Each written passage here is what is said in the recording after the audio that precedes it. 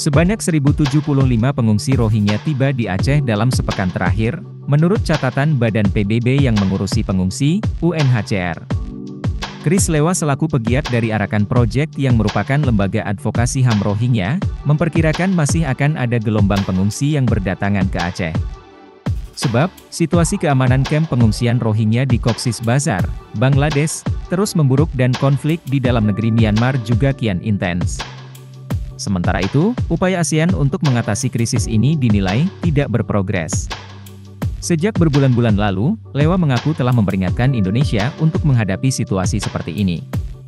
Ketidakjelasan mekanisme penanganan pengungsi ini dinilai berkontribusi pada penolakan sebagian warga di Aceh.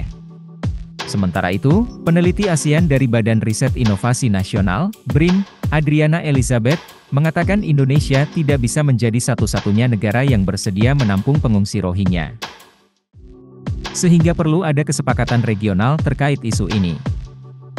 Padahal, ketika berbicara dalam pertemuan mengenai isu Rohingya di sela-sela sidang ke-78 Majelis Umum PBB di New York, 21 September lalu, Menteri Luar Negeri Indonesia, Retno Marsudi, menegaskan komitmen ASEAN terhadap pengungsi Rohingya.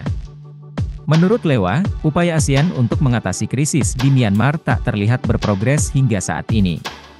Situasi di Myanmar justru semakin kompleks dengan munculnya berbagai faksi yang berkonflik.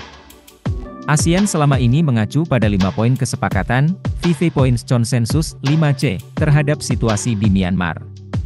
Jika tidak ada mekanisme dan kesepakatan regional yang jelas untuk menangani pengungsi, dia khawatir negara-negara ASEAN akan kewalahan ketika situasi ini mencapai puncak krisisnya.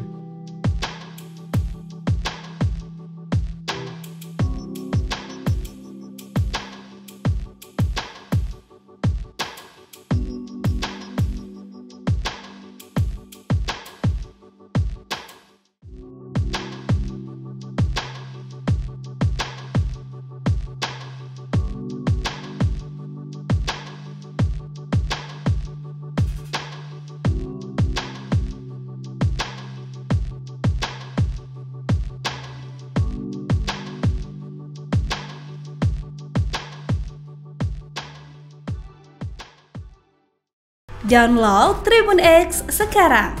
Menghadirkan lokal menjadi Indonesia.